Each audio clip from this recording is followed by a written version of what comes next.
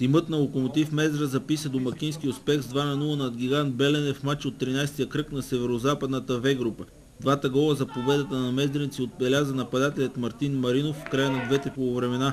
Железничарите не стигнаха лесно до трите точки, като в някои голови ситуации за гостите имаха късмет.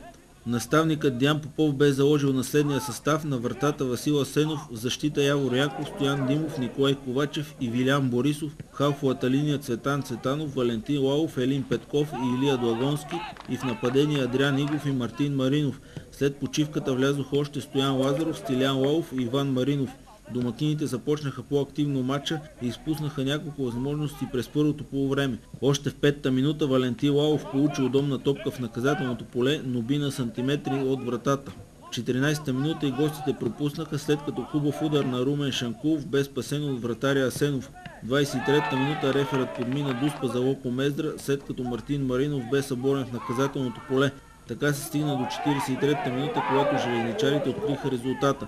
Явор Янков центрира отдясно в пеналта, където Мартин Маринов бе най-съобразителен и с глава се разписа за 1 на 0. Второто по време започна с повече атаки за гостите. В 67-та минута Светлин Перников пропусна отблизо да изравни. Няколко минути по-късно пък Борислав Панов отправи удар, който затрудни вратаря Асенов. Въпреки това до втори гол стигнаха железничарите. В 81-та минута Стоян Лазаров изведе Мартин Маринов от дясно в наказателното поле и той с удар покрай вратаря на гигант вкара втория си гол в матча за крайното 2 на 0.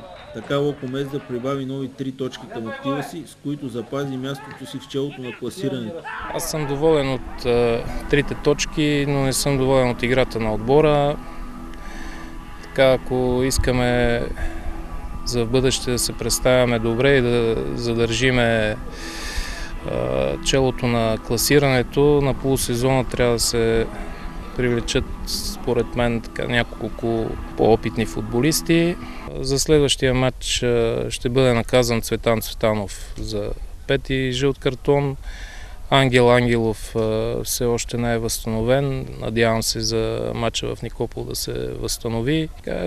Като цяло имаме доста проблеми.